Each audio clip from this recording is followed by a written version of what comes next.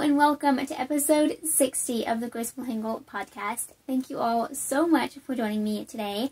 I can't believe we're already at episode 60. I've said it before, and I'll probably say it every time we're at one of these numbers, but every time I hit a multiple of 5 or 10, I just get excited. It seems monumental, even if it's, you know, just a few weeks difference when you're recording every week. So, Anyway, episode 60. That is crazy. I've been doing this for quite a while now, and it feels like I recorded the very first episode just yesterday. It's crazy. So, today is Saturday, July 3rd. I hope you have all had a wonderful 4th of July weekend if you're in the US, and just a great weekend if you are elsewhere in the world. Um, I am so grateful for weekends. I'm, I'm grateful to live in a world where there are weekends um, especially during school season. It's just really nice to have a couple of days off in the midst of all of the craziness that is college. Um, but anyway, so in this week's episode, I have some, I have one finished object to talk about, a couple of WIPs, um, and then some new designs, some new, some old. It's going to be a good episode. I'm really, really excited about it. So we're just going to hop right into it today. But first, if you haven't already subscribed to my channel, please go ahead and do that. And don't forget to hit that notification bell so that you don't miss out on any future videos. I have lots of fun things coming up that I cannot wait to share with you guys. So be sure to hit that notification bell so that you don't miss out on anything.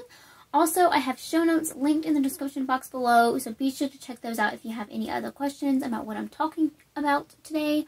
Um, but you can also ask me in the comments or reach out to me in another social media way, which will all be linked down in the description box as well. So be sure to check that spot out because there's always so much information in that little area. Okay, so like I said, I have lots of fun things to talk about today, so we're just going to jump right into it with a finished object. Okay, so like I said, I have one finished object to show today, and I'm so excited about it. It is definitely not something that I planned on finishing in time to share as a finished object this week, but I'm really happy I did, and that is my new rug. So, this is a project that I believe I had started in the last, or last week, in last week's episode, um, in episode 59, but I knew I was going to rip it out um, and I, like at the time I wasn't even using a pattern, I don't think. I don't know. Rugs always, I've made a few, um, and especially round rugs, it's always a little bit tricky. Like you have to get the numbers and the like ratios just right so that they don't end up rippling instead of flat. Um, but anyway, I did use a pattern for this. I honestly do not remember what it's called. Um, I could probably find it if I tried, but it was like just so random. Like it was a random blog that I stumbled upon and she had directions and so that's what I followed. Um, I did change up the edging though, which I'll talk about in a second. So here is what, what, here is what the rug looks like. I just love it so much. It's exactly what I envisioned. It's pretty big. Um, let's see if it's my full wingspan. It's almost my full wingspan. So it's probably, let's see, I, it's probably about 50 inches um, in diameter. So just a little bit of a estimate for you. I haven't measured it, but I that's my guess. Um, so it has two rounds of double crochet and then a round of like lace or eyelets. Um, it's just a double crochet with a couple of chains in between. And then the edging, the pattern called for a scalloped edge, which is honestly what I was planning on doing. Um, but then I had the idea to do a reverse single crochet edge, and I love it. So this is literally crocheting backwards, and this is what it looks like.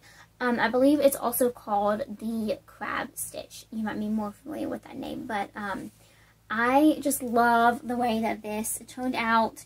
It took a while, I guess, but honestly not that long. It was pretty quick.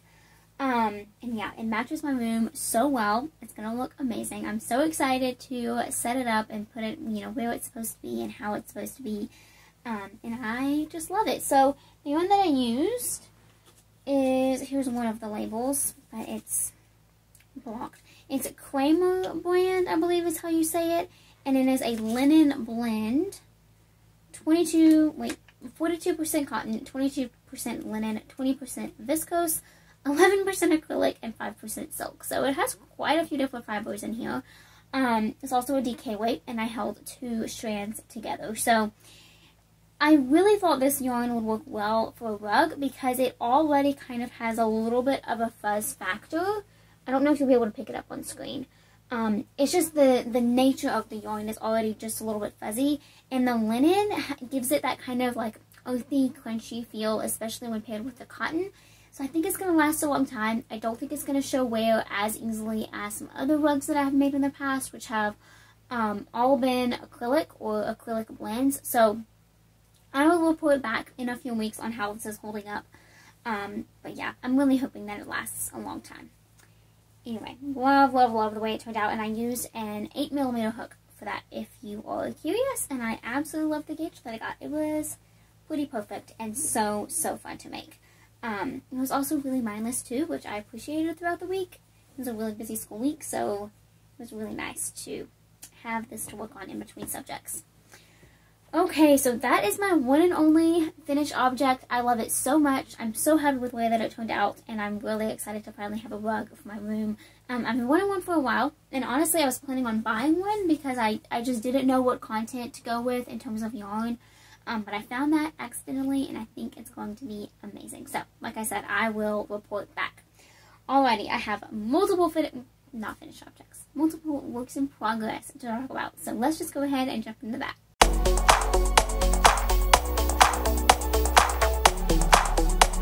Alrighty, so like I said, I have a good number of works in progress to chat about today. I think I have three or four. One, two, three. I thought there was one more, but now I don't remember. Maybe just three. Anyway, good number, and I'm really excited about all of them. So, first up are my July socks. So, this is my pair of socks that I'm knitting throughout the month of July. Um, this year, I have challenged myself to knit a pair of socks every month that specifically relate to that month in some way. So basically, I've just set a couple of little criteria for myself. Um, a different yarn every month, which, you know, obviously isn't difficult. Um, and then a different designer. So I might do multiple patterns by a designer throughout the year. Um, I've already done that, but um, just a different designer, I guess, month to month is kind of my goal. Um, but yeah, I love these socks already and they are going so well and I literally just started them. So I am knitting the Austin socks, which is a pattern by Kay of the Crazy Sock Lady. This is actually a free pattern in her shop. Um, and it's one and it is one that I have been wanting to make for a while and I am just now getting around to it. Um, so here is what my sock looks like so far. I have finished the cuff and then I am onto the leg right now. So I don't know how well it's going to pick up on camera, but basically there's these little squares of a garter in the midst of all of the stockinette on the leg. And it's just such a simple and fun addition to the pattern. I think it's so cute. Um, well, I guess I don't know if I should say cute. These were designed for her son, so maybe cute isn't the right word, but um, I think it is gender neutral. It's a really good pattern, um, and I'm already having a lot of fun knitting them. So Start off with a 2x2 cuff for 20 rounds, which is my preferred length, so that worked out perfectly. And then I am just knitting along the leg now. So I have one repeat done. Um, I believe she calls for, let me just look at the pattern real quick.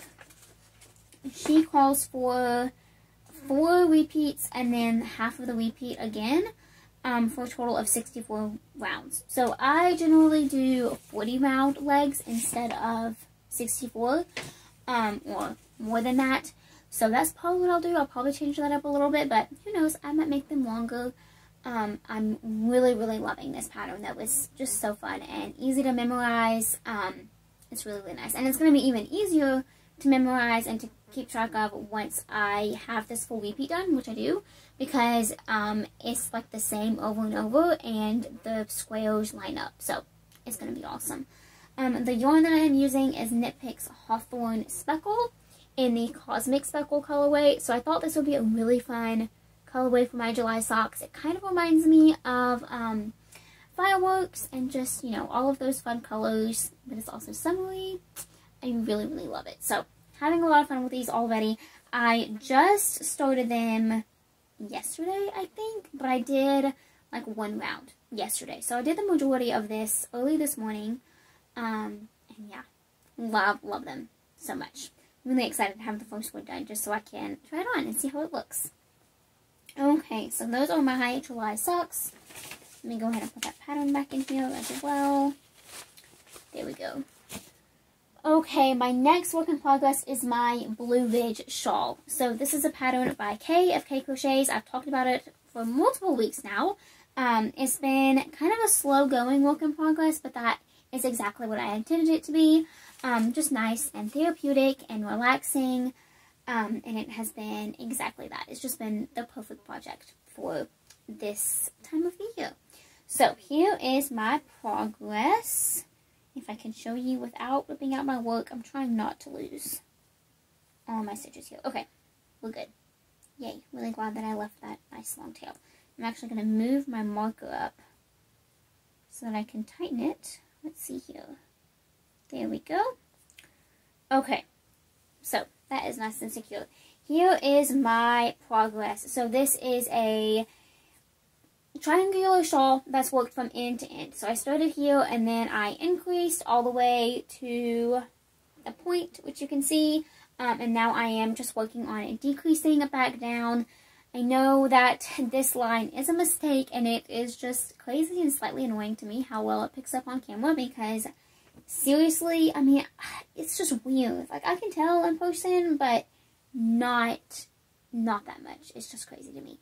Um, but anyway, so this is going so well. I am now into the next and last, I think. Yes, last faded section. So I'm just repeating this section except with colors 2 and 3 instead of 1 and 2 right here.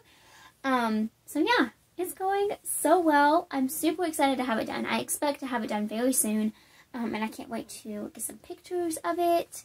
It's going to be really, really nice. So, the yarn that I'm using is WeCrochet Cotton in three different colors. Here's the two that I'm using right now. The first gray is silver. Yeah. So the first gray, ah, this one, is silver. And then this medium gray, which is the center here, is called Carrera. And then this darker gray that I'm now fading in is Rocket. So it's going to be really beautiful. I'm really excited about this. So, and like I said, I, I mentioned this um, uh, last week, I think, but I really want to make a solid shawl like this as well. So I might just like cast that on as soon as this one's done because I'm really having a lot of fun with this project. Um, but I think if it were one color, it would be even more mindless. Um, and that is definitely what I'm craving right now. So Love this project so much. I love this stitch. It's just been so, so nice to work on. So there is that project. I'm super excited to see it growing and everything fall on the floor. Here's the hook that I'm using, by the way. Love, love, love this hook. Um, it's the Radiant Wood Tunisian Crochet Hook by, again, WeCrochet. Um, yeah, it's really awesome. I'm really, really enjoying using it. Okay, and then my next work in progress.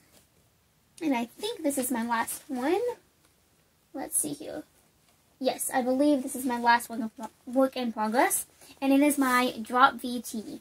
So this is a pattern by Cleo of Perfectly Knotted. I've been working on it for a couple of weeks now, not too long.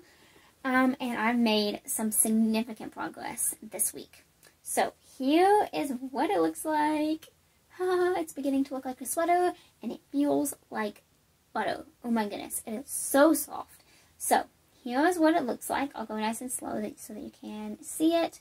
So this pattern is worked top down raglan style. You start off flat to shape the v-neck and then you join in the rounds um, and then work in the round for the rest of the pattern. I am just working on, I'm losing all my stitches. This yarn is amazing, but it's so slippery. So I'm constantly losing my stitches. Anyway, so I am working along the body right now, and I have done this much from the underarm. So according to the pattern, I am exactly halfway done um, before I get to the drop stitch section. Now, I think I'm going to want to make it a little bit shorter than what the pattern actually calls for. Um, right now, it lines up really well with the shirt that I'm wearing right now, actually. And right now, it hits right at my waist. Maybe just slightly below my waist. Um, it's, well, I don't know. I can't tell. I need to try it on. Um, that's why I haven't worked more, because I need to try it on and figure out how long it needs to be. I don't want it to be too long, um, but I, I think what I need to do is actually, like, come up with an outfit that I have in mind. um, and see how long it needs to be to work with that because I don't want it to be too long that it covers my shorts or anything because this is um, a tee that I'm planning on wearing this summer. Um, but at the same time, I don't want it to be too short that I have to wear something under it, which might be a delicate balance. I might need to wear a tank top under it anyway. Who knows? But either way, it's going very, very well, and I am obsessed with this project. I'm really excited that I'm filming now, honestly, because I just want to work on this so badly. Um, and I wanted to stop here for the podcast because I'm at a good stopping point. So, anyway, now we get to work on it again. The yarn that I'm using is Knit Picks Shine Sport in the colorway Wisteria. Um, it's just such a beautiful lavender color. I was a little bit on the fence about it. I didn't want it to look too, like, pastel or, you know, girly or anything. Um, but I think it's really, really pretty. I'm excited about it. So, I think it's going to be a really fun knitted item to wear throughout the summer. And I'm super excited about it. I'm hoping to have it, I'm hoping, goodness gracious, my words are not coming out right today. Um, I'm hoping to have it done really soon so that I can enjoy wearing it. Um, but yeah, loving, loving this project. And again, that is the Drop VT by Claire of Perfectly Knotted. I got a few questions about it last week, um, but that is what it's called. So be sure to look it up if you want to knit it because I highly, highly suggest the pattern. Um, the layout of the pattern and just the way that the raglan instructions are given is unlike any method that I've ever seen. I know it exists. Um, Claire isn't the first person to do that, and I don't mean that as in it's not original. I just mean that as in it's not daunting when you look at it. Um, but it's very different, and I recommend reading it through but once you read it through, it makes complete sense and it is so easy to follow along with. So I highly, highly recommend checking that pattern out. Okay, so I think that is it for all of my standard works in progress. Now I have a few designs to talk about, so let's just go ahead and jump into those. So I have a few designs to show you. I think one new one and then three that you have seen before. So first off, I do have a little finished object for Design Talk today, and that is my Hidden Trails socks. I meant to grab sock blockers and bring them over here, but I forgot. Anyway, so this pattern is actually released now. It is done with testing. As I'm recording this, it's done with testing, and I am getting everything ready and set for the release on Monday. Um, but you will be seeing this on Tuesday, at least. So it is out, and I love this pattern so much. I'm so happy with how it turned out. Um, and I think it is just a really awesome pattern, and I'm really excited about it. So, these socks feature a 2x2 ribbed front, just like that, and then a stockinette back. Um, this specific yarn is koi fish fibers in the colorway um, Into the Woods, I think. I think that's right. Maybe on the, I don't remember exactly what the colorway is called, but the pattern is Hidden Trail. Um, and yeah, so be sure to check it out if you haven't already. I'll link the pattern down below. Um, it's just a really good gender neutral pattern. I am so excited that this pair is done because I cannot wait to cast on my own pair. I'm still figuring out what yarn I want to use, um, but I think I want to do a solid color, so I don't know, stay tuned because I'm definitely going to be casting on a pair very, very soon. Okay, so that is that project. Next up, I have another pair of socks. So these have just entered the testing phase. These are my rainstorm socks is what they're going to be called. This is the pattern that I am designing in collaboration with um, Pretty Twisted Yarns and I love it so much. I'm just absolutely obsessed with her yarn. Self-striping is so much fun to use and hers is absolutely amazing. I cannot get over how even all of the colors are um, and the stripes and how they just match up perfectly with one another. It's absolutely amazing. I personally do not understand the science behind dyeing self-striping yarn yet, um, but I have got to figure it out and learn because, you know, while I don't plan on dyeing yarn and selling it one day, I would love to just learn and experiment and play with it. So I definitely need to take some lessons from her, but Anyway, here are my socks. So I recently finished my pair and they are so cute and fun. I love this pattern so much and it makes me so happy to know that you guys do too. So this is just a really simple pattern, but it looks awesome, if I do say so myself. Not to be boastful or anything, but I just really like the way that it looks. Um, so this is what the front looks like. It's just slip stitches, guys. It is so simple. You can totally do it, I promise. Um, and yeah, I love the way that it looks. So pattern front, stockinette back, so it gives it a really fun way to show off the stripes. Um, you know, patterned and not patterned. Afterthought heel and a toe, of course. Um, but yeah, love, love, love these socks. And again, they have entered the testing phase. Um, so the pattern will be coming later in July. And I'm super excited about it. So stay tuned for that for sure. I'm going to be doing another design with some more of her yarn as well because I have another ball of it. Um, so yeah, I'm hoping to get that started really soon. Hopefully I'll have that to show next week. Alrighty, and then another design.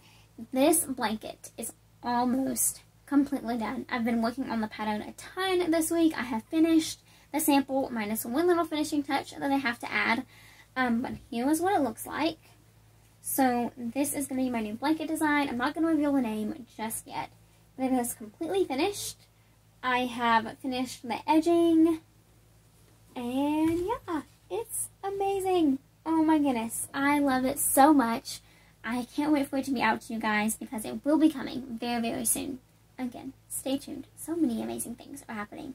Um, but yeah, love this yarn so much. This is Knit, or, Knit Picks All We Crochet, again, sister companies. Um, Brava, and then I used Brava Speckle as well. So that's what all of this yarn is. Um, and then the color in between is silver. So I think it's really fun and beautiful. I have a super special name picked out. Um, so yeah, stay tuned for more info about this release because it is going to be so much fun. Okay, one more, one more, one more design to show. Oh, I just whacked the wall hanging behind me. So speaking of wall hangings, nice little unintentional segue. So this is my latest wall hanging design. So this is what it looks like. It is not released yet, so I know it looks completely done, but it's not quite done. Um, there's a few more things to add, but it is definitely getting there. Here is what it looks like, nice and slow. So I used Knit Picks Brava in three colors. Um, this green is fig, and I used a 100 gram skein of it. And then the this is, um, oh, the name just completely, Seraphim is the lavender. And then the gray is Dove Heather. Um, and I used the Brava Minis, which look like this for the little contrast colors. So these are super, super fun. Um, I have a couple of designs coming out using these actually over the course of this month. So stay tuned for those. Um, but yeah, I'm so excited about this pattern. It took me a really long time to get it to look exactly how I wanted it to. Um, but I'm just so happy with it. So again, this will be coming very, very soon.